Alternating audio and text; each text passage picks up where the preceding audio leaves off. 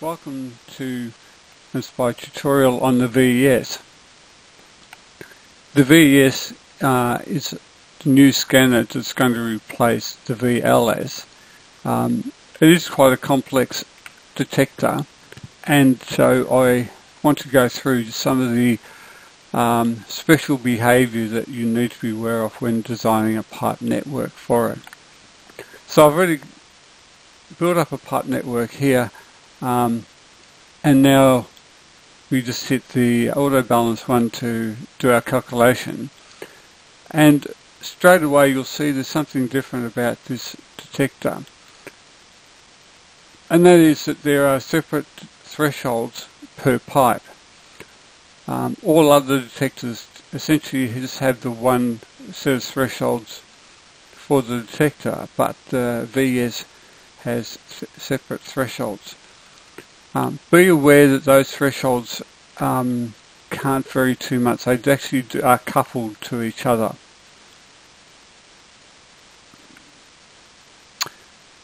Again, uh, to bring those into VSC, you can do an import to import those. Now, you'll notice also um, one of the important things dealing with scanner is a lot of the properties vary significantly between whether you are in scanning mode or you're not in scanning mode. And hence we actually show which mode we're in up here. And you can toggle that mode down here. Um, to go between scan and non-scan mode. Um, and when we do, um, when we change the mode, it recalculates for all detectors, the scanning detectors. So if I had several VESs underneath the, this project, they would all um, change between whatever the mode is that we're working in. Now what you'll notice here is that now we've gone to non-scanning mode, all our uh, thresholds are shown as being not um, applicable. And um, that's important because essentially the thresholds are per pipe and they only have meaning when you're scanning. And you'll notice also if we go to sampling points, again all these sensitivity values here are shown as not applicable because if we're not scanning um, then they have no real meaning because the sensitivity is saying what smoke level there has to be to trigger a fire alarm and so they calculate it relative to a threshold. And when we're essentially in not scanning mode then none of the pipe thresholds are directly um, being used. So we, we have no meaningful uh, sensitivities in that mode. And you'll also notice that when I do the opposite when I go to scanning mode I've got my sensitivities but my transport time says scanning. And again, transport time is not really relevant um, when you're in scanning mode.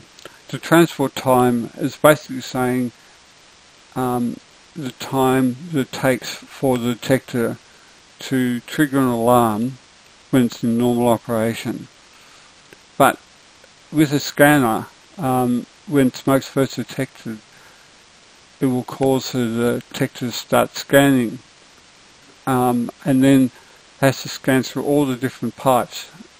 So the scanning, the transport time has no real meaning when we're in actual scanning mode.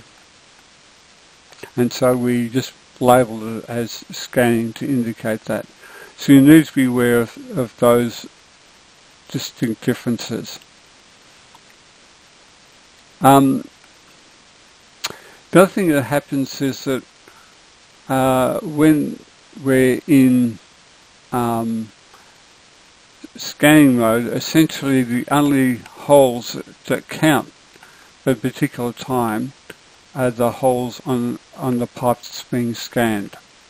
So um, we only essentially group together or care about the holes on a, a given pipe.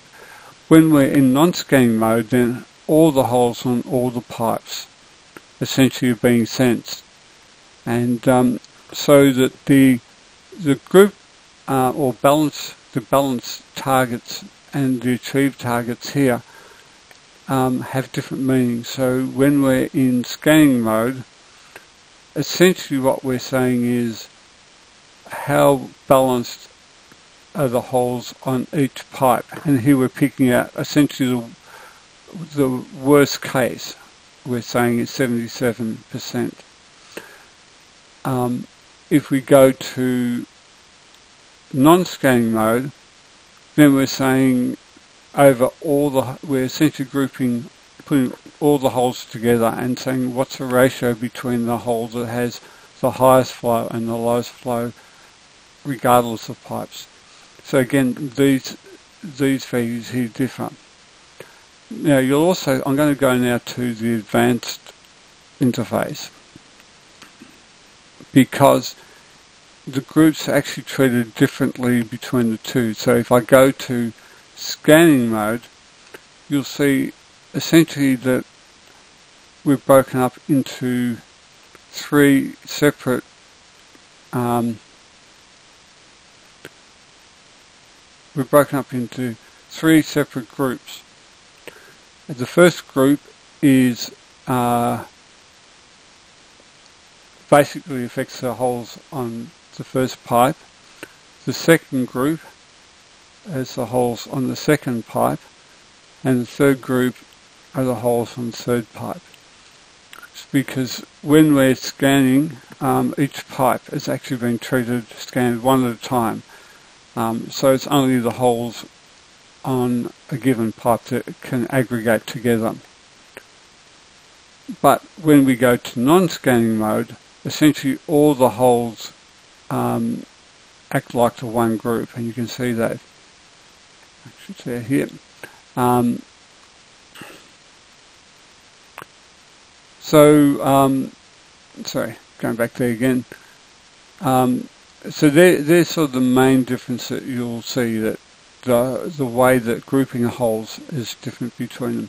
And again, you'll notice that where know, the hole sensitivity is shown as being not applicable here when we're uh, not in scanning mode.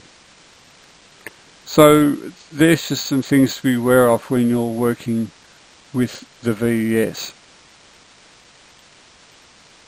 Let's go back here again. Um, we'll just go back to the standard interface. So again, in general, I'd recommend you work with standard interface. Um, and we'll go back to the scan mode. And again, you have your thresholds calculated for you. So again, you focus on what the sensitivity objective is, just like any other detector.